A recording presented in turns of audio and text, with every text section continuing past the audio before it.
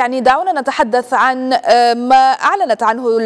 الرئاسة الروسية الكرملين بكون لموسكو موارد كافية لإتمام عملياتها العسكرية في أوكرانيا وهذا طبعا في سياق تواصل العمليات العسكرية على الأراضي الأوكرانية. جاء ذلك في تصريحات لمتحدث الكرملين ديمتري بيسكوف لدحض لدحض مزاعم أمريكية أشارت إلى طلب موسكو مساعدات عسكرية واقتصادية من الصين لدعم عملياتها في أوكرانيا. في ظل عقوبات مفروضة على موسكو أستاذ غالي هل ما زالت هذه الأخيرة قادرة على الاستثمار في هذه الحرب وما مدى جسامة الخسائر العسكرية والاقتصادية التي تتكبدها اليوم؟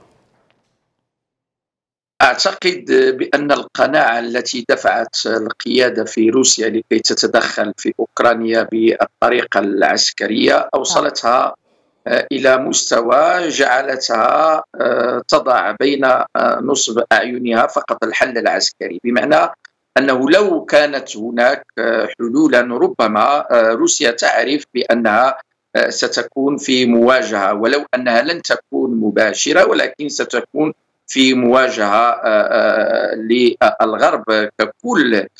لا يجب أن ننسى بأن أغلب الدول التي كانت في الاتحاد السوفيتي أو كانت تابعة للمعسكر الشرقي دخلت إلى حلف الشمال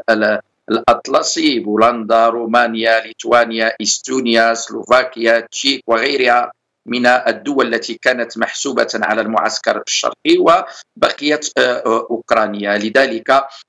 فروسيا بإقدامها على هذه الخطوة وكأنها أعطت إشارة بأنها لا يمكن أن تقبل ربما بأن هذا من كقلعة أخيرة كي تدخل هكذا بهذه الطريقة إلى حلف شمال الأطلسي. فهذا يعني بأن منظومة الأمن الروسي أصبحت مستباحة ستصبح مستباحة وبالتالي فلا السياسة ولا الاقتصاد ولا أي شيء آخر يمكن أن يعطى له الاعتبار إلا من خلال هذا الحل الذي تم اختياره وهو الحل العسكري. أكيد بأن كل حرب كيفما كانت تكون استنزافية والنظريات الاستراتيجية العسكرية تؤكد دائما بأنه في الحروب ليس هناك أي طرف رابح مئة في المئة. لابد وأن تكون خسائر ولكن بالنظر كما قلت إلى أن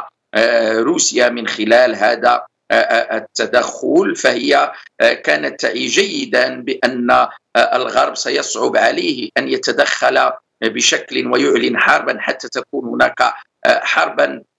شاملة في أوروبا على غرار الحروب الأخرى وأوروبا تعي جيدا وتحسب جيدا هذه المخاطر ولكن لربما العقوبات الأخرى أو الحرب الأخرى التي تجابه بها روسيا كما أشرنا وأشار زميلي الأستاذ الصديقي ليست فقط الحرب الكلاسيكية بالدبابات والطائرات والصواريخ الاستراتيجية وغيرها والعابرة للقارات ولكن هناك الحرب الاقتصادية المستنزفة. الآن هناك عقوبات على المتعاملين بالنفط والغاز الروسي. اذا فهذا في حد ذاته سيضرب جزءا كبيرا من قوة الردع الروسي على اعتبار أن الاقتصاد الروسي يرتكز بشكل كبير على عائدات النفط والغاز. وبالتالي فهذه هذا في حد ذاته سيؤثر على قدرة الدولة الروسية التمويلية وهذا التأثير على قدرتها التمويلية ربما سيتأثر به المواطن الروسي وهناك حسابات للغرب أو للدول الغربية وخاصة الولايات المتحدة الأمريكية على أن تقود هذه الأمور إلى نوع من الضغط ولربما أن تتحرك وتجمع المعارضة أنفاسها من جديد على أي الرهانات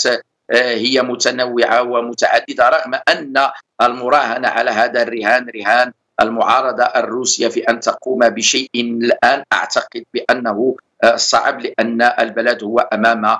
حرب حرب أنا أقول وأؤكد لا زالت أبعادها مجهولة بشكل كبير بالنسبة للجميع. أشرنا إلى أن ربما جهة قد تكون متهورة وقد تقوم باستعمال السلاح النووي أو الكيماوي رغم أن هناك تقارير تشير إلى أن هناك الأسلحة التي استعملت ليست أسلحة تقليدية مئة في المئة ولكنها أسلحة لها آثار كيماوية وبيولوجية.